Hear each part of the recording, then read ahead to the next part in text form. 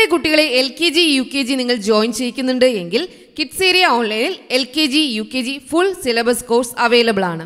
അതിനായി ഇവിടെ നൽകിയിട്ടുള്ള വാട്സപ്പ് നമ്പർ നിങ്ങൾ മെസ്സേജ് അയച്ചു കഴിഞ്ഞാൽ അതിന്റെ ഡീറ്റെയിൽസ് ഒക്കെ നിങ്ങൾക്ക് ലഭിക്കുന്നതാണ്. അതുപോലെ നിങ്ങളുടെ കുട്ടികൾക്ക് ഇംഗ്ലീഷ് വായിക്കുവാൻ പഠിക്കുന്നുണ്ട് എങ്കിൽ മലയാളം വായിക്കുവാൻ പഠിക്കുന്നുണ്ട് എങ്കിൽ അതിന്റെ കോഴ്സസും കിഡ്സ് ഏരിയ ഓൺലൈനിൽ അവൈലബിൾ ആണ്. വളരെ എളുപ്പത്തിൽ ഈസി ആയിട്ട് കുട്ടികൾ ഇംഗ്ലീഷ് വായിക്കുവാനും മലയാളം വായിക്കുവാനും സ്റ്റാർട്ട് ചെയ്യുന്ന രീതിയിലാണ് ഓരോ ക്ലാസ്സുകളും ചെയ്തിട്ടുള്ളത്. അതുപോലെ കുട്ടികൾക്കായിട്ടുള്ള ബേസിക് കോഴ്സസ് എല്ലാം വർക്ക്ഷീറ്റ്സ് ഒക്കെ കിഡ്സേരിയ ഓൺലൈൻ അവൈലബിൾ ആണ്. നമ്പേഴ്സ് അറിയാത്ത കുട്ടികൾക്ക് നമ്പേഴ്സ് നമ്പർ നെയിംസ് മലയാളം അക്ഷരങ്ങൾ സ്വരാക്ഷരങ്ങൾ വ്യഞ്ജനാക്ഷരങ്ങൾ കൂട്ടക്ഷരങ്ങൾ ചില്ലക്ഷരങ്ങൾ English letters small letters big letters ഇങ്ങനെയുള്ള കുട്ടികൾക്കായുള്ള എല്ലാ ക്ലാസ്സസും കിഡ്സേരിയ ഓൺലൈനിൽ അവൈലബിൾ ആണ്. നിങ്ങളുടെ കുട്ടികൾക്ക് ഏത് ക്ലാസ് ആണോ ആവശ്യം അത് നിങ്ങൾ കിഡ്സ് ഏരിയ ഓൺലൈന്റെ ഈ വാട്സപ്പ് നമ്പറിൽ മെസ്സേജ് അയച്ചു കഴിഞ്ഞാൽ അതിന്റെ ഡീറ്റെയിൽസ് ഒക്കെ ഇവിടെ നിന്ന് നൽകുന്നതാണ്.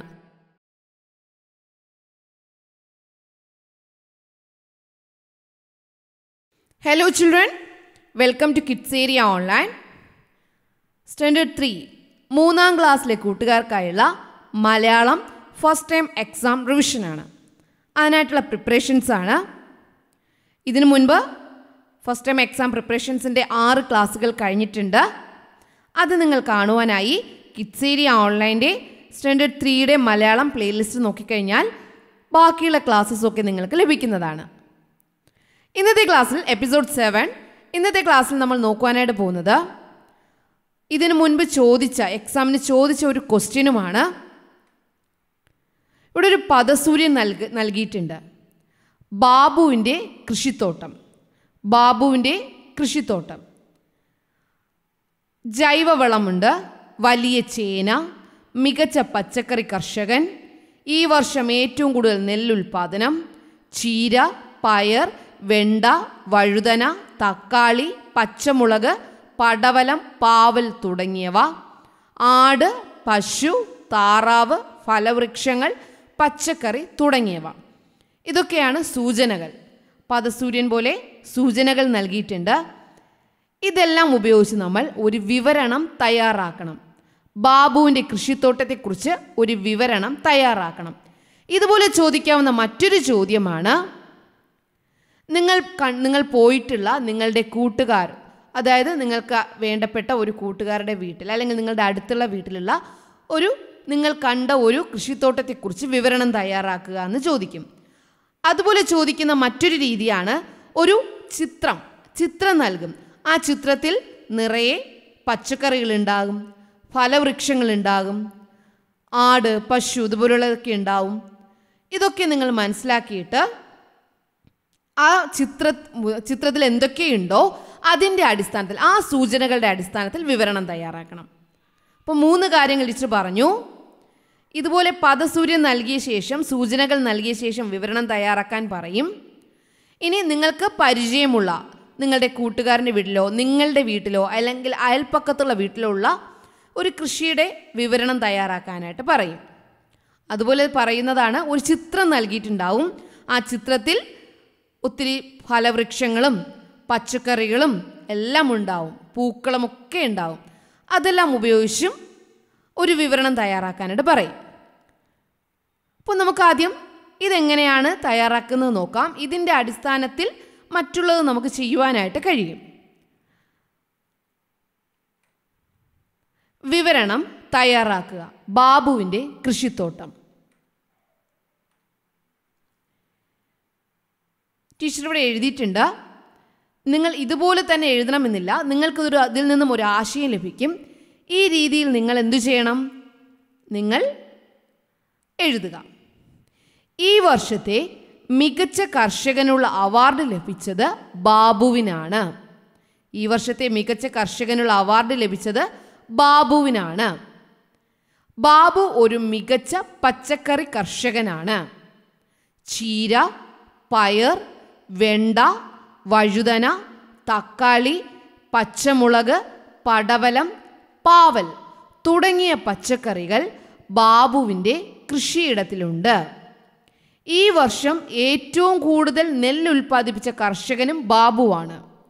പച്ചക്കറി തോട്ടത്തോടൊപ്പം ഫലവൃക്ഷങ്ങളും ആട് പശു താറാവ് എന്നിവയും ബാബു വളർത്തുന്നുണ്ട്.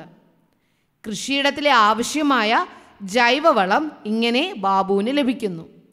ഈ വർഷത്തെ ഏറ്റവും വലിയ ചേനയും ബാബുവിന്റെ കൃഷിയിടത്തിലാണ് ഉണ്ടായത്. ഒരു കർഷകന്റെ അധ്വാനം ഫലമണിഞ്ഞു നിൽക്കുന്ന കാഴ്ചയാണ് ഇതിലൂടെ നമുക്ക് കാണാവുന്നത്. ഓക്കെ?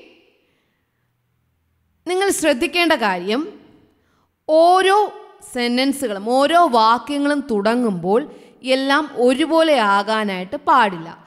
വ്യത്യസ്തമായ രീതിയിൽ നമ്മൾ എന്തു ചെയ്യണം? ഓരോ സെന്റൻസുകളും സ്റ്റാർട്ട് ചെയ്യണം. വ്യത്യസ്തമായ രീതിയിൽ അവസാനിപ്പിക്കുകയും വേണം. സെന്റൻസ് നല്ല ഭംഗിയോടുകൂടി എഴുതുകയും വേണം.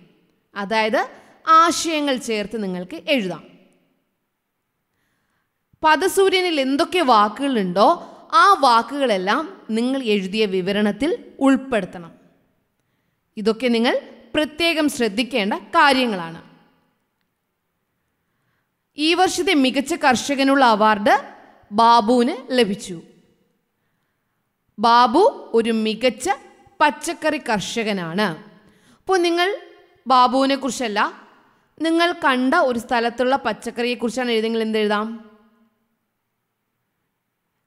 നിങ്ങൾ പറയുക ഇന്ന ആളുടെ ഒരു പച്ചക്കറി കർഷകനാണ്. അവരുടെ തോട്ടത്തിൽ എന്തൊക്കെയുണ്ട് എന്ന് നിങ്ങൾ എഴുതുക. ആ ഓരോ പച്ചക്കറികളുടെയും പ്രത്യേകതകൾ നിങ്ങൾക്ക് എഴുതാം. അവിടെ അതുപോലെ ഫലവൃക്ഷങ്ങളുണ്ടെങ്കിൽ അതും നിങ്ങൾക്ക് എഴുതാം. അവർ വളർത്തുന്ന മൃഗങ്ങളുടെ പേര് നിങ്ങൾക്ക് എഴുതാം. ജൈവവളം അതിലൂടെ അവർക്ക് ലഭിക്കുന്നു എന്ന് എഴുതാം. ആ കൃഷിയിടത്തിലുള്ള ഏതൊക്കെയാണ് കൂടുതൽ ഉൽപ്പാദിപ്പിച്ചിട്ടുള്ളത്? അവർ അതെങ്ങനെയാണ് കൂടുതൽ ഉൽപ്പാദിപ്പിച്ചത്? ഇങ്ങനെയുള്ള പ്രത്യേകതകൾ നിങ്ങൾക്ക് എന്തു ചെയ്യാം? ഇതിനോടൊപ്പം കൂട്ടിച്ചേർക്കാം. അവസാനം നിങ്ങൾക്ക് എന്തെഴുതാം? ഒരു കർഷകന്റെ അധ്വാനമാണ് ഇവിടെ നമ്മൾ ഈ വിളവിലൂടെ നമുക്ക് കാണുവാനായിട്ട് കഴിയുന്നത് എന്ന് നമുക്ക് എഴുതി ചേർക്കാം. ടീച്ചർ ഒരിക്കൽ കൂടി വായിച്ചു തരാം. നിങ്ങൾക്കിതിൽ നിന്ന് ഒരാശയം കിട്ടും.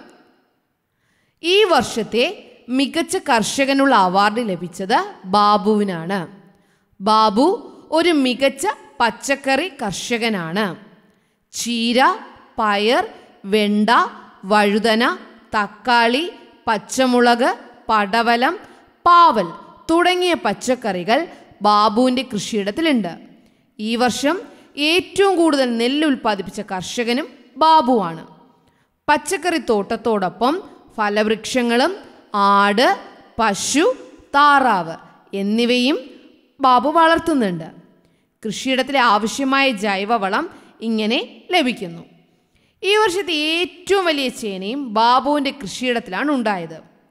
ഒരു കർഷകന്റെ അധ്വാനമാണ് ഈ ഫലമണിഞ്ഞു നിൽക്കുന്ന കാഴ്ചയിലൂടെ നമുക്ക് കാണാവുന്നത്.